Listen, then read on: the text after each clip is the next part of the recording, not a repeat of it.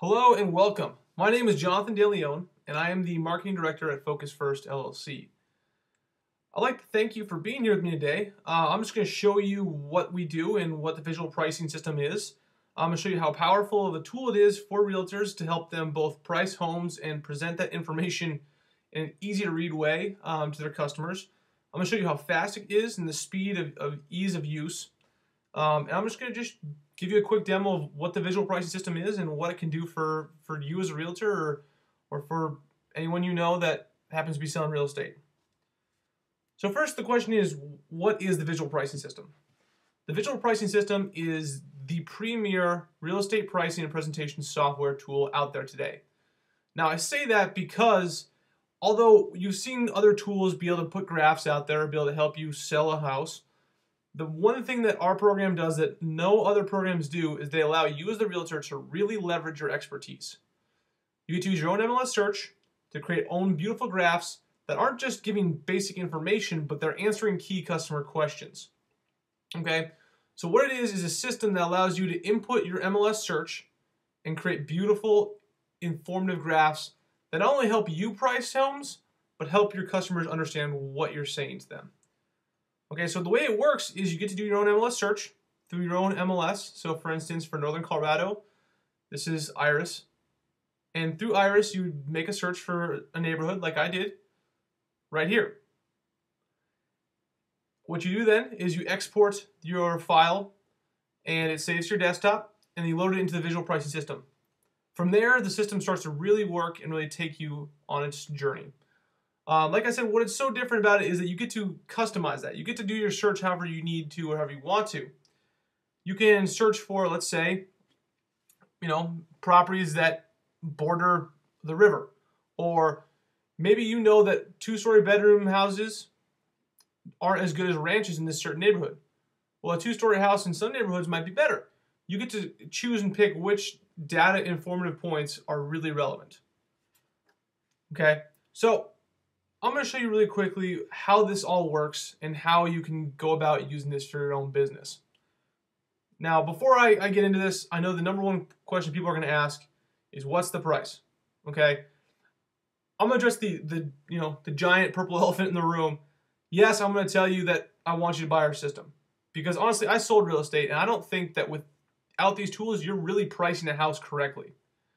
Now, the price itself for the tool is $25 a month. We do this because we update it constantly so that it always works with MLSs. Uh, I'm sure that you have experienced a change in MLS in your lifetime um, or in your career in real estate. And so you can imagine that happens across the nation and in Canada. So we, we're updating it constantly and adding new features and making it more user-friendly based on your feedback. So we're big believers in showing is better than telling. So I've told you a lot right now. Now I'm going to show you. Okay. So first things first, this is the visual pricing system. It's based in Microsoft Excel, so you do have to have Excel to use it, but the best part about that is you're pretty familiar with how to do the basic um, operations you need to have. So when you open the program, this is the first page you're going to see. It has a little write-up here, and it has some tutorial links so you can come check out some awesome tutorial videos we have online that can show you how to use every part of this product. Okay, but I'm going to start, start here by clicking the Start Here button. Now this Start Here button lets you load in a file that you have made before. So this file, in this case, is titled Export 71. This is just the MLS search that I made on here, and then exported to my desktop, clicking the Export button. Okay, so I'm going to open this up and let the program do its work. Now the first thing that pops up here is it asks what subdivision area of the city would you like to place these on these graphs. This is what is the title of these graphs. In this case, the subdivision I searched for was called English Ranch, and that's in Fort Collins. So I'm going to go ahead and hit done. All right? Give us a couple seconds, and now your results are complete. Now I'm going to stop right here. This is the results of the neighborhood statistics that answer key customer questions. The actual pricing is going to take a little bit extra work because you know what? There's no such thing as a right answer or just easy click of a button to get the right price for a house. Okay, so we're going to click here first down this bottom tab, check out the neighborhood patterns. Now these neighborhood patterns are super powerful, okay? This graph here answers the key customer question of what are the odds of my house selling? As every customer knows, not every house that goes in the market actually sells. So you would want to know is your neighborhood at the top of the range or is it not as good so that you can plan ahead according to your price. Can you be aggressive and try and get a little bit more? Or do you need to be really careful and maybe just take a little bit less so you don't sit on the market for a year and a half? Okay, you can see here the odds of selling in this neighborhood are pretty high. This is a pretty nice neighborhood in Fort Collins um, and pretty in demand because it's where the, a lot of the expansion is happening. So you see here, 86% means almost all the houses in that neighborhood have sold. Now, if you're big on absorption rates, this is where they also come in. Now we don't we don't call it the absorption rate. We actually just give it this simple meaning because the simple meaning, the simple definition is what your customers will understand. If you tell your customers, "Oh, you know, there's a 1.5 absorption rate," what does that mean? If we say, "Look, homes are selling at one and a half a month," ah, I get what that means.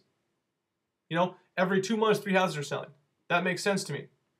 So it's pretty simple here. So this is the last 12 months of activity. You can see here the blue is sold, the red is the withdrawn or expired, the house did not sell, and the green are the ones that are currently for sale. Now there's no that are currently under contract, so you don't see any yellow bars at this moment. Um, so you have three here, graphs, first for the last year, the year so far in 2015, um, and then the summary of 2014. Now I include the summary of the year before because sometimes you can you can always make the search, let's say in February. So the summary of 2015 is going to have almost nothing. Um, so the 2014 will probably be more relevant at that point. Okay. Next graph that show the neighborhood patterns are the time to sell patterns. This addresses the key customer question of how long should it take for my house to sell? So you can see here, we plot it all out. You can see where the average days before sold is. Now, the interesting thing to see about this graph is even though across all the different price ranges, it's not that big of a difference versus a $320,000 price or a $420,000 price. I guess 417. You can see the that the difference is not among price range, but once you get past, let's say about 90 days sold, you can see nothing selling. So if, if you're at that point, you know I probably messed up on the pricing. Something went wrong. Okay. Now again, we include the year before. So you can see here, this is actually a pretty consistent neighborhood. 61 days average, 58 days average. Average sold is 348 last year, 361. You can see it's probably appreciating. Um, this is all the information I'm taking from this part of the graph here. Again, I'm running through this pretty quickly just because I want to show you a quick version of how this all works. But um, the next graph we have here is called the buying pattern. This just addresses the key customer question of when is the best time for my house to sell? You can see here that we put the thick lined boxes around the areas where the most houses are selling. Dotted line is any area that kind of almost is included in that. Um, so you can see, you can almost, you could probably almost connect these if you wanted to and say that this neighborhood sells greater from May to October. Clearly, this is a neighborhood that really is patterned around the uh, end of school and families moving in and out kind of neighborhood. Now, not all neighborhoods will be like that. You'll see sometimes if the pattern is elsewhere. Um, again, 2014 graph here, you can see we're probably about the same May to early November, end of October. So, um, now we're to get into the real meat of it. Okay, this is the pricing area of the visual pricing system. Now, the reason we have the neighborhood graphs and the reason that they're there is for the key reason of you can start getting a feel for how you much you can push, shove, and wiggle room around, you know, certain pricing things. Now, when I say push, shove, wiggle room, I'm going to explain why I'm saying wiggle room here by showing you a quick graph. Okay. I'm going to click here and select scattergram data. We like scattergrams because scattergrams give you a very easy to see relationship between houses that have sold. So I'm just going to grab the data. What I just did there is grab the last six months of data. Um, now, obviously, you can you can if you want to get really in depth, you could probably deselect. Let's say if you're pricing a ranch, you deselect the two stories and see if the relationship is better between those versus versus ranches. So you can get more into it, but I'm just going to do this very basic today and create a scattergram graph. I'm going to graph it based on the finished square feet versus the sale price. Um, and then I'm going to show the trend line. Just show a line that basically shows, you know, where what is the relation between these two. So your scattergram is now complete. Load this up. Oh, cool. You can see that there actually is a pretty good relation. You can see this line here. If you follow that line, in most cases, the dots are, are very close to following that line. This really establishes a tight relationship between finished square feet and the average sale price for the houses there.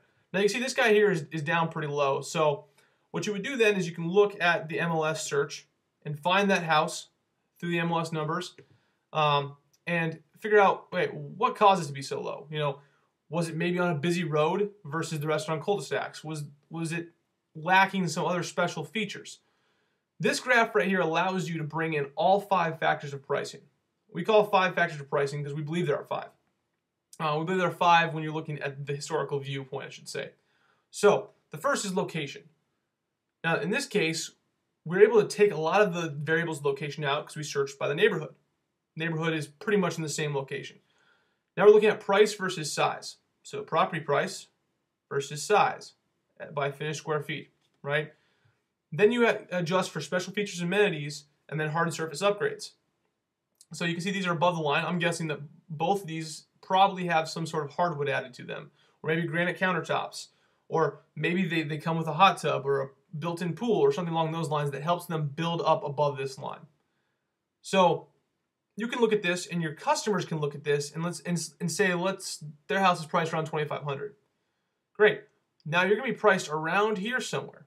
Now that being said you have a pretty big circle at this at this moment but you now know hey we're pricing let's say we're pricing and it's uh and it's today right? Are we anywhere in the buying pattern? No. So you're not going to be wanting to push too far above the line otherwise you might not sell. Why do I say you might not sell? Because the next buying pattern is a lot more than 90 days out. If you remember, after about 90 days, pretty much nothing's selling. Okay? So it becomes a, a give and take relationship between these graphs. The, that's what the real power of the visual pricing system is. It's not just about, hey, here's some information, let me tell you what the price should be. It leads you through a decision making process in the perfect way. Okay? Now, we also have what we call the positioning graph. Now in this case, because there's only one house that's on the market, it's a little bit weird to see, okay? But I'm just gonna show you this anyways, okay? And graph this with finished square feet. This graph would show up down here as we call the DPMS gram, or the Dynamic Pricing Scattergram graph. Now, in most cases, there's a lot more triangles and dots on here. Now, in this search, there isn't. So what I would probably do is go back to my MLS and do a search for all the houses that are active in the in a bigger, broader area, maybe just do Southeast Fort Collins, not necessarily this neighborhood, that are around the price I was thinking about and around the square footage I was thinking about. And you'd get a lot more dots on here. And then we'd be able to, to really look and see where is our competition at. Because I mean, we can't list for you know 400,000 if our square footage is back here because you can see all of a sudden for 400,000 they might be able to get a house for 2,800 square feet. we're at 2,500 square feet. 300 feet makes a huge difference. So you can start going back and forth with that. Um, we have a lot of other awesome graphs that you can watch the tutorials on to check them out. Um, they really show in a great visual kind of way the way that the real estate market works. This, for instance, is called the real estate pond. We always like to talk about it as like a farm pond. And when, when houses flow in, they're priced right, they get shown, they get offers, they flow right back out. Now, if they're weighed down by poor pricing, and I say poor pricing, it's not always a high price. Sometimes it can be too low of a price that puts a negative image on the house.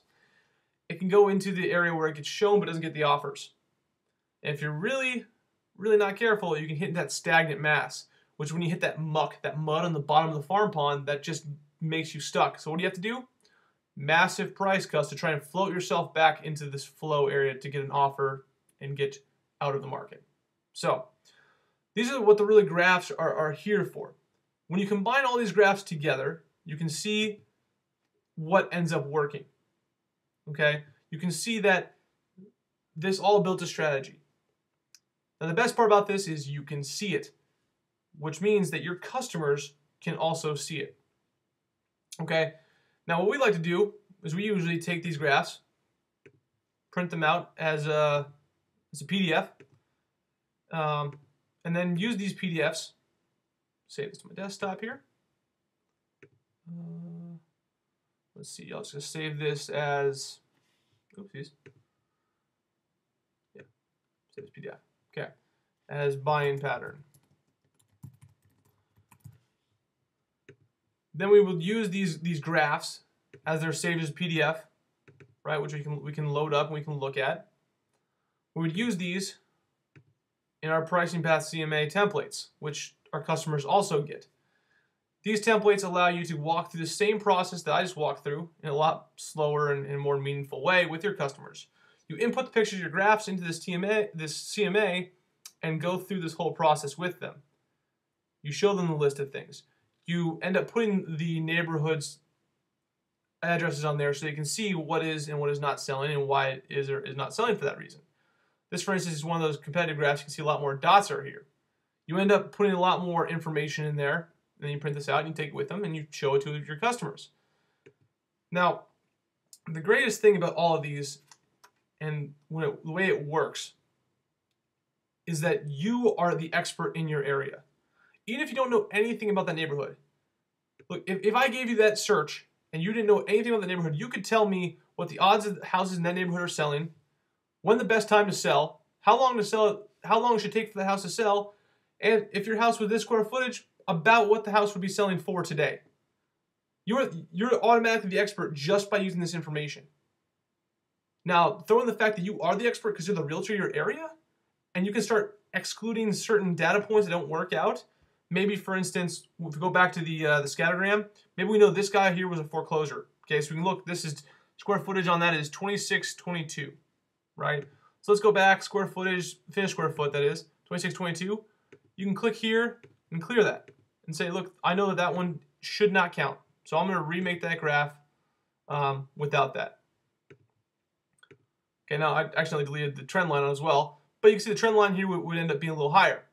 And you know that is the more accurate graph because the truth is you are the one that knows your area better than anyone else. So we let you leverage your expertise and really show all that you are. Okay? Again, like I said, this is $25 a month. The fact is is you're going to use this once and realize how did I price without it? I really don't understand how people th think that they're pricing when they aren't using this, this tool. Now, where can people get this tool? At focusfirst.com. Focus1st.com. Now, the other great thing we have on focus1st.com or focusfirst.com is we have a great support area. Okay? In the support area, we have links which are to our, our YouTube channel, which we put new tutorials and new videos on on a constant basis. We have the visual pricing support blog, which just has more articles about tricky questions and tricky uh, CMAs that we go through so that you can really help yourself out. We always have support. You can email us or give us a, a call. And a lot of times we do online meetings with people when they're really having a tough time. Um, on top of that, we now cover hundreds of MLSs all across the nation and in Canada. So this list here just shows you how to set your MLS up and how to do the export so you can save the file to your desktop just like I did here so that your system will work super easy. this all being said, I am a huge proponent of the power of these tools. The reason I, I do this marketing and I, and I work for this company is because I sold real estate. The man that made the product, which happens to be my father, sold real estate. My mother is one of the top 1,000 realtors, according to the Wall Street Journal, in the nation. And she will attest that a lot of the business she gets is from these tools. So please check it out. Let me know what you think because in honesty, I love them. Thank you very much, and I hope to see you soon.